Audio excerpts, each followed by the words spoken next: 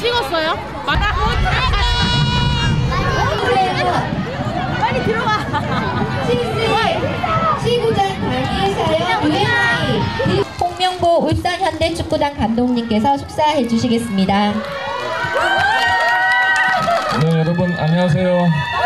네, 반갑습니다.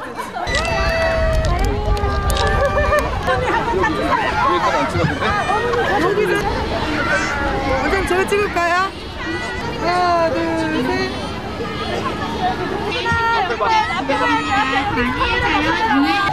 안녕하세요. 선생님 찍으러 빨리. 얘들아 앞에 봐. 유리 선생님 주세요.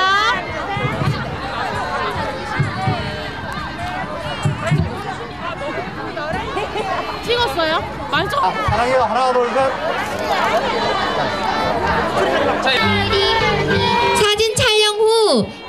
원들은 간식 배부가 있으니 본 모두 헬기 볼까요? 하나 둘셋 하나, 하나, 둘, 셋. 얘들아, 얘들 쫄았어. 지금 쫄았어. 얘들아, 다시 봐. 자 웃자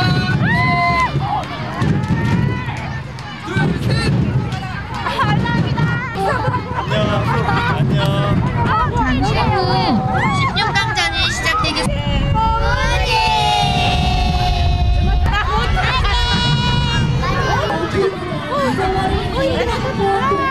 가고 싶었어.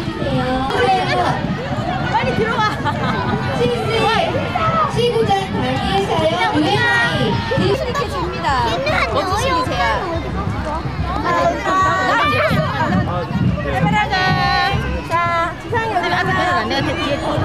아, 아,